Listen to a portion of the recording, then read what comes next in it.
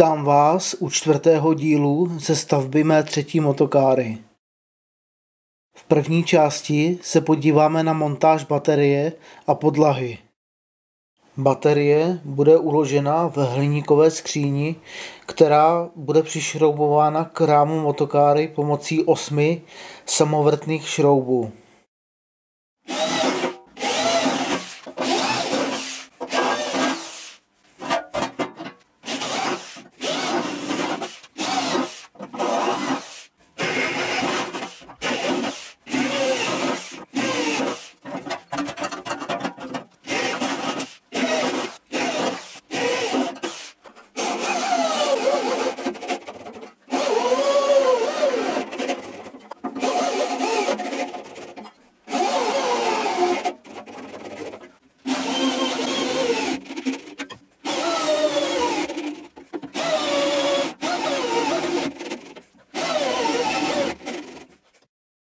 Trakční baterie má nominální napětí 48 V a kapacitu 60 Ah.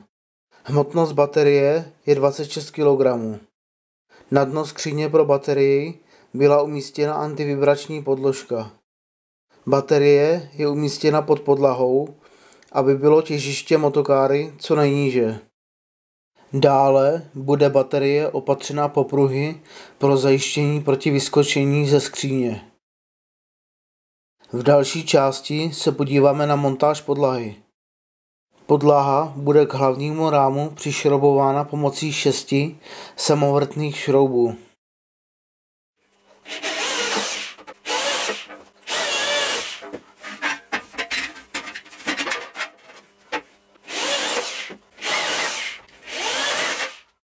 Pro montáž podlahy a baterie bylo nutné oddělat celou konstrukci s řízením.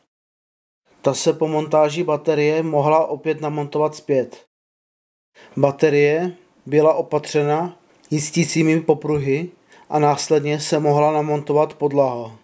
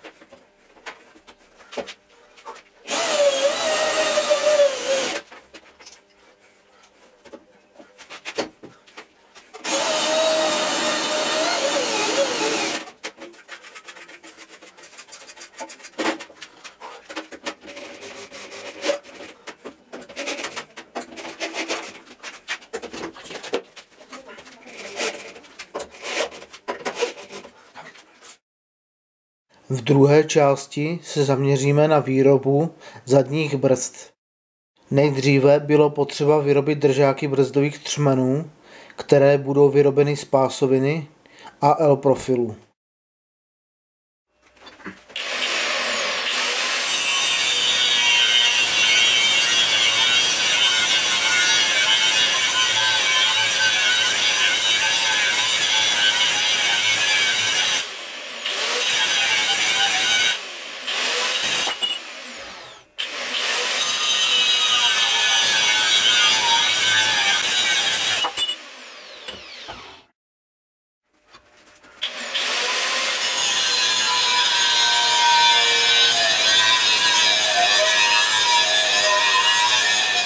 Držáky brzdových třmenů byly vyrobeny z pásoviny o šířce 60 mm a síle 8 mm a z L profilu o rozměrech 40x40x4 mm.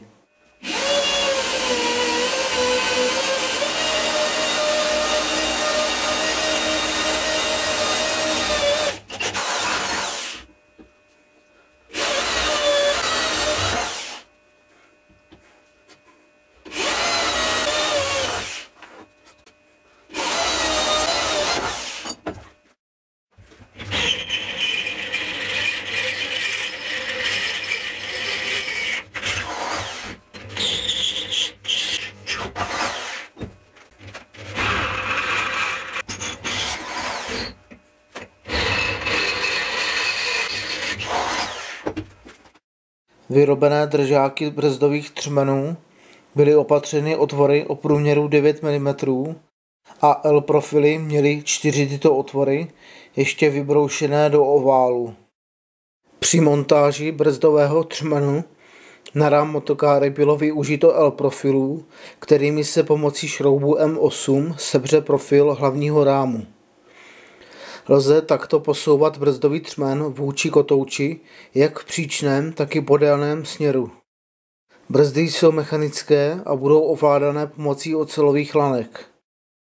Pro vedení brzdových lanek od pedálu byly použity bovdeny. Bovdeny jsou vedeny skrze malé L profily umístěné pod sedačkou. V další fázi se mohl vyrobit držák brzdového pedálu. Ten je vyroben z pásoviny o šířce 30 mm a síle 5 mm.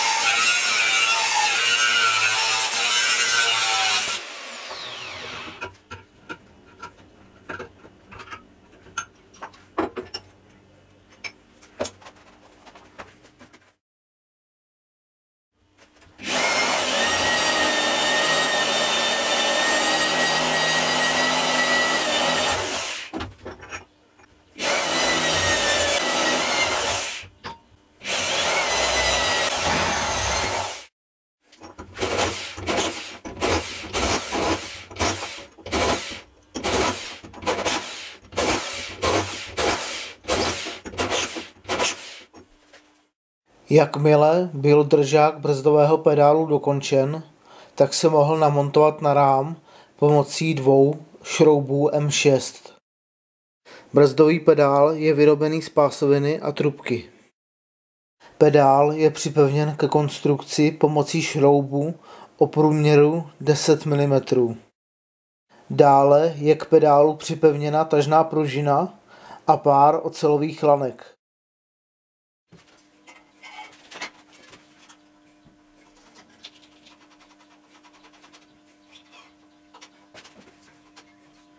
Brzdové třmeny byly po osazení brzdovými lanky doplněny o tlačné pružiny, které zajišťují lepší vracení ocelových lanek do původní polohy.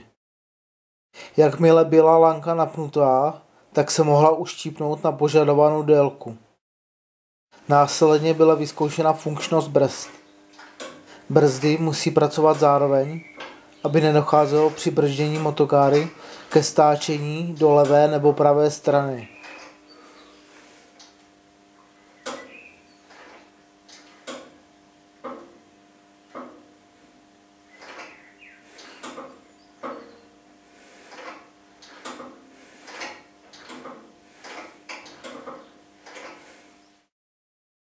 V další fázi se na pedál namontovala trubka, kterou prochází 120 mm dlouhý šroub.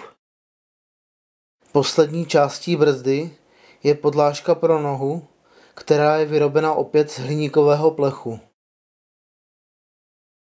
Ve třetí části se zaměříme na montáž sedačky. Sedačka je na rám motokáry upevněna ve spodní části pomocí závitové tyče a v zadní části je upevněna pomocí dvou trubek. Sedačka je plastová. Dříve jsem chtěl udělat sedačku polohovatelnou v podélném směru, ale od toho jsem upustil, neboť mechanismus pojezdu by byl příliš složitý. Jako bonus na závěr jsem vložil do videa montáž kol. Přední kola mají průměr 36 cm a kola zadní 40 cm.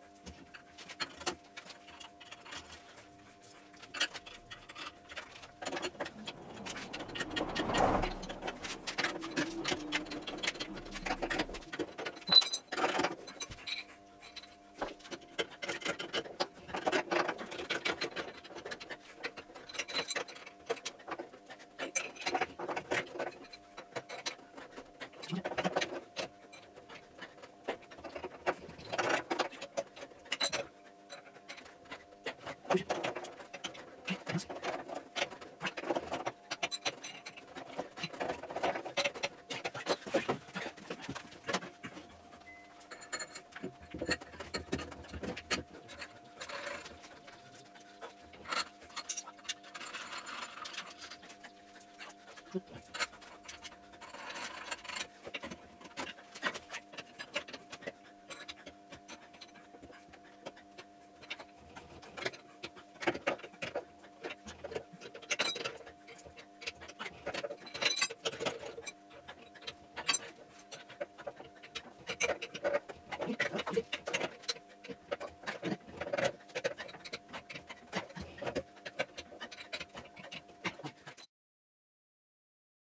Čtvrtý díl je u konce. Doufám, že se vám video líbilo a budu se na vás těšit u pátého dílu.